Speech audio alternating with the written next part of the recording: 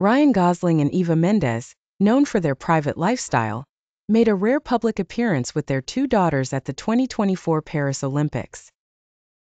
This outing marked the first time in several years that the couple has been photographed together, capturing attention and hearts alike. On Sunday, August 4th, the family first delighted in the grace and precision of the dressage individual Grand Prix freestyle, held at the picturesque Chateau de Versailles. The beautiful setting, combined with the elegance of the equestrian sport, created a mesmerizing experience for all who attended. Later, the family transitioned from equestrian beauty to athletic prowess as they made their way to Bercy Stadium.